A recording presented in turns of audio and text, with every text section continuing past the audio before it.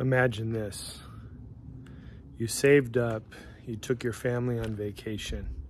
You went to Disney World, you wanted to take your two young children and your wife.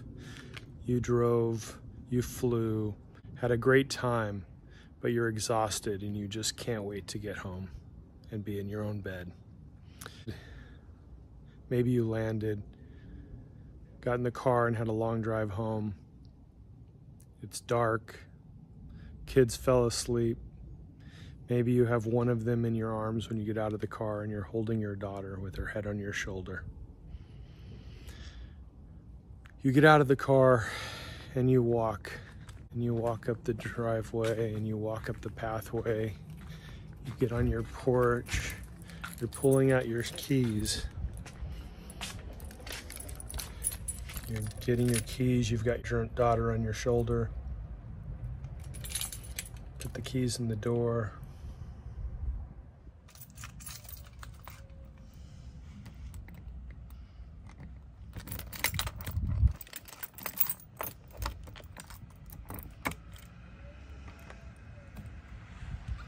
You open the door. You start to walk in the house. You hear something inside. The lights are off, but the TV's on, and you're thinking to yourself, I know that we didn't leave the light on. You notice there's somebody on the couch. Right away, you think, hey, what do you, and you stop yourself and you remember that you're holding your child and you've got your wife and your daughter with you. You turn around and you retreat outside. You take them outside and you run out. You run outside to get some distance between you and whoever's sitting on your couch. You run out. You call the police and you tell them that you just got home with your family and there's somebody in your house. Somebody appeared to have broken in the house while you were on vacation. The police respond. They go into the house and they confront the intruder. After waiting a brief time, they come back outside and they say to you and your wife, the gentleman inside says he has a lease and that he belongs there. And you say, that's not possible. This is our house. We've been on vacation. That is not possible. I want to see the lease. The officer says, I'm sorry, but we can't ask him for a lease. This is a civil matter. You need to take him to civil court. You're upset. Your wife is upset. She's like, what are you talking about? This is our house. They're intruding. They broke in. They must have.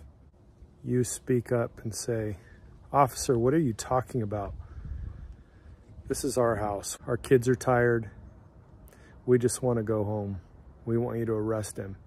The officer says, I'm sorry. He appears to be a squatter then, but this is a civil matter and beyond my control. I'm not allowed to ask him anything. He says he has a lease, so you have to take him to court. And you say, what am I supposed to do? What am I supposed to do with my family?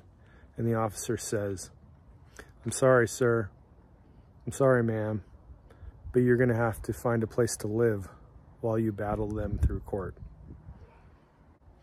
This is devastating, and this could happen to you. And the email I'm going to share with you is a family that this did happen to.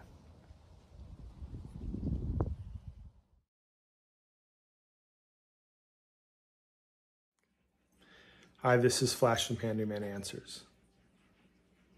Ever since my squatter video, people have been sharing stories with me, whether it's something to do with their home, a fire in a house, or a squatter story.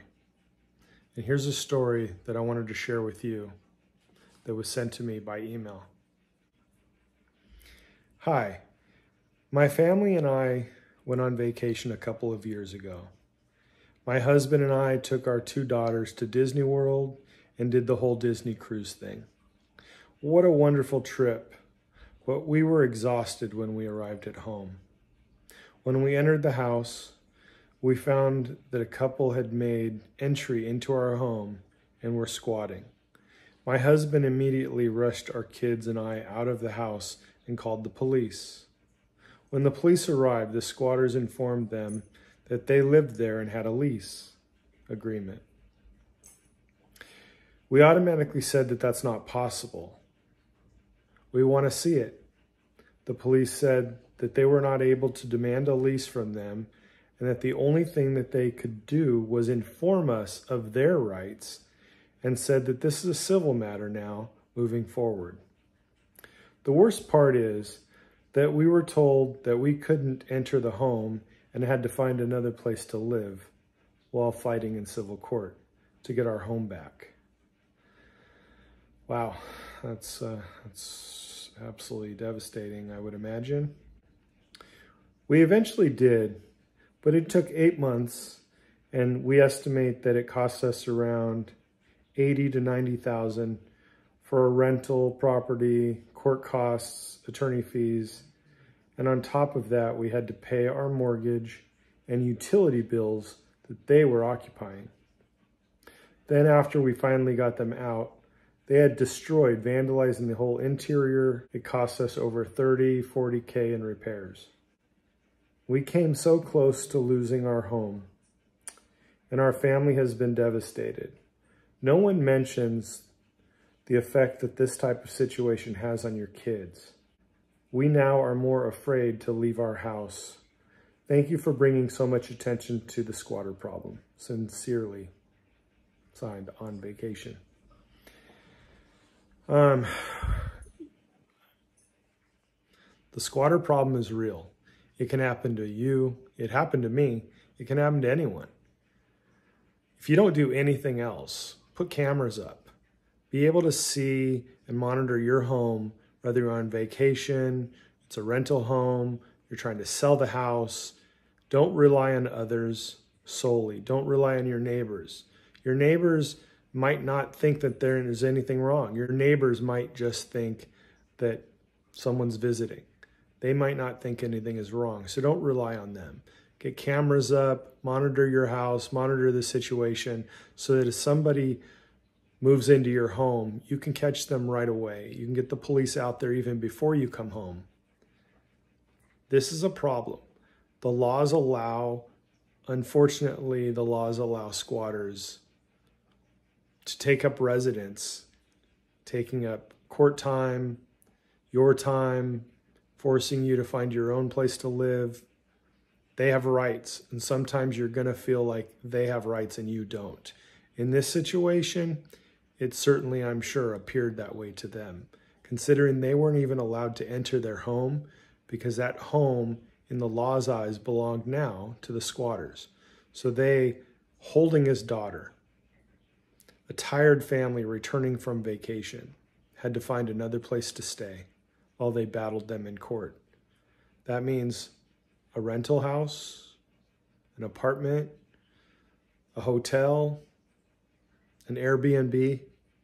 Took them eight months. I can't express enough how important it is to change the laws. Have I figured out exactly what the law should be? No. I'm just trying to draw attention.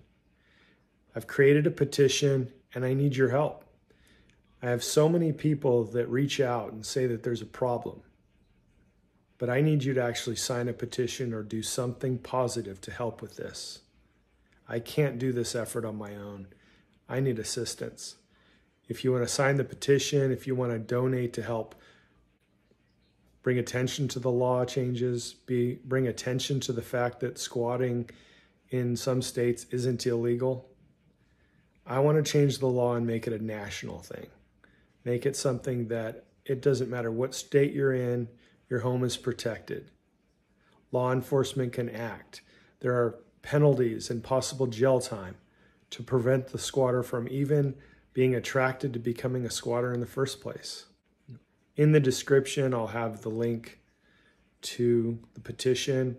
I'll have a link to GoFundMe if you want to donate to help support bringing awareness to this. I want to thank this family for sharing.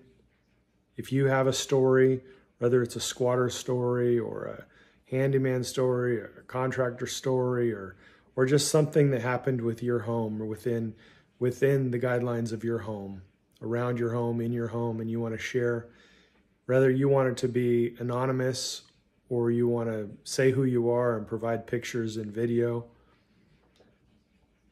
send it in to me. Email will be in the description as well. You can send in your story if you'd like me to share it. This was Flash with Handyman Answers.